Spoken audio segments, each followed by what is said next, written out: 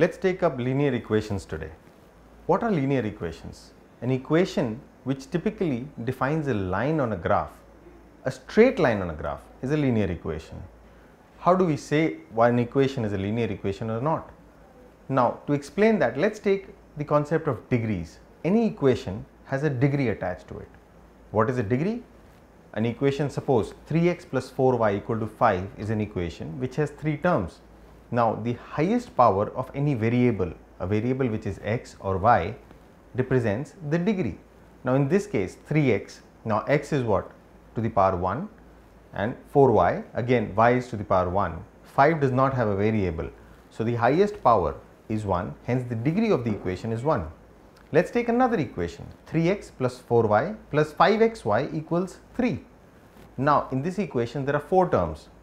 The first term 3x again has a degree 1, 4, 4y is a degree 2, 5xy. Now, this term has two variables together.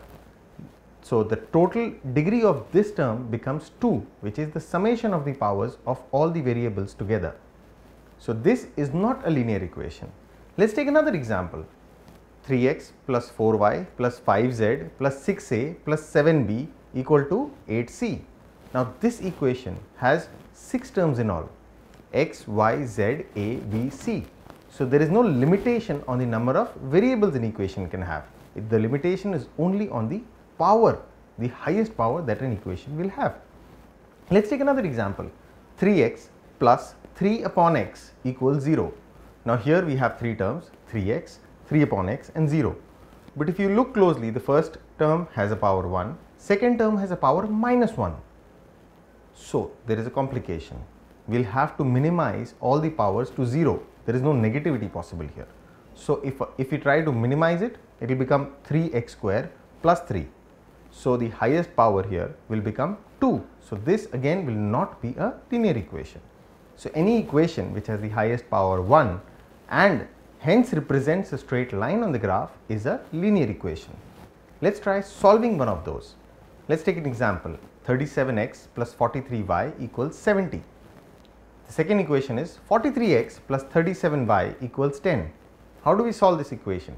The numerous methods, let us talk try and a beautiful new method or probably an alternative that is possible in this case is adding the two equations. So, when we add it, it will become 80x plus 80y equals 80 which can be simplified to x plus y equals 1. Now, if we try putting this value into the first equation, we get 6y equals 33 and if we put it in the second equation, it will become 6x equals minus 27. So, the answer is x equals 4.5 minus 4.5 and y equals 5.5. The basic requirement to solve any equation is that how many variables are there in the equation. So, if there are two variables, you require two equations to solve the set of variables. Similarly, if you have three variables, you require three equations to completely solve it. How do we do it? Let us take a case where it is not happening. 3x plus 2y equals 3, 6x plus 4y equals 6. If you look closely, both the equations are same. If you divide the second equation by 2, you will get 3x plus 2y equals 3. So, hence both the equations are same, so there is no answer possible or it is a set of infinite solutions. Why? Because 3x plus 2y plus 3 will give you a straight line. A straight line will give you so many answers possible. How does the equation solving happen? Two equations give you two straight lines which are intersecting. The point of intersection will give you the right answer. If the two straight lines are parallel to each other, they will not give you the right answer. Or if there is a one straight line, it will give you a long set of answers. Let us look at another equation. 3x plus 2y equals 3, 6x plus 4y equals 5. Now, here is a case wherein both the equations are parallel to each other. The ratios of constants along with x and y are same, but the other side is not. So, this gives you a situation where the lines are parallel. Now, let us look at how do we apply linear equations to real life problems. This is typically called an age problem.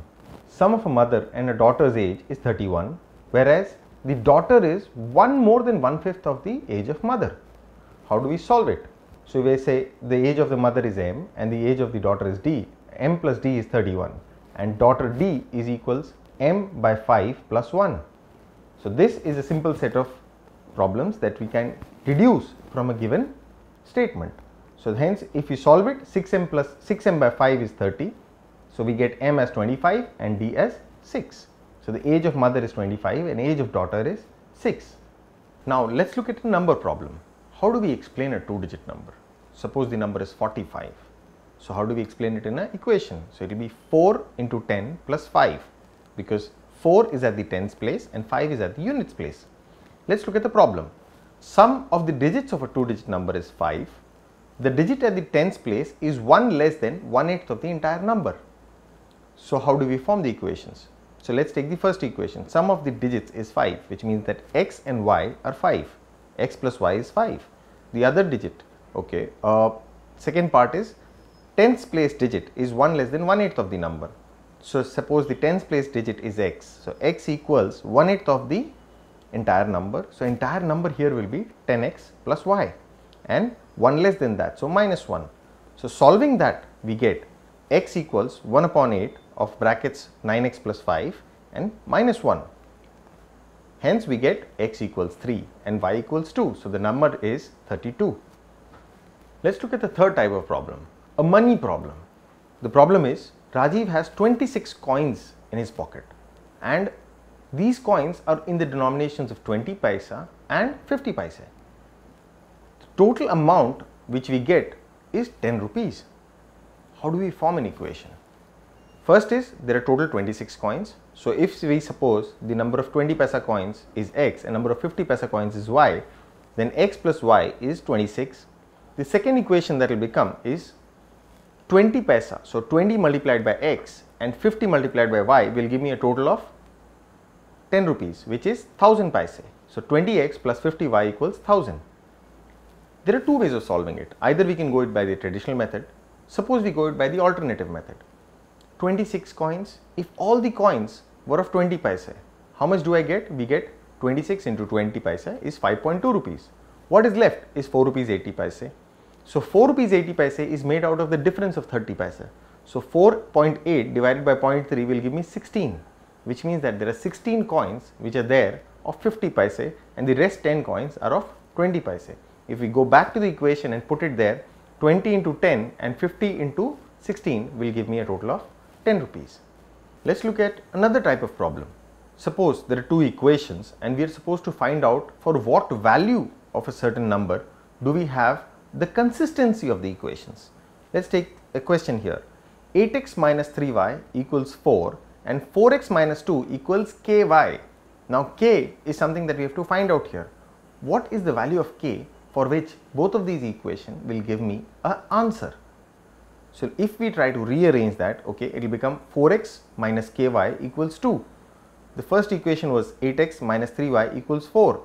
So, if we try and dividing the first equation by 2, we will get the same second equation. So, if we divide it by 2, if k is 1.5, then we do not get an answer. Going back to the logic that we discussed earlier, if both the ratios are always same, they will give me a single line which will have multiple answers. So, we need an answer. So, for value of 1.5, k will never give me an answer. So, k here can assume any value apart from 1.5. Using the skills that we just practiced, we can try and solve many more questions in linear equations and hone our skills.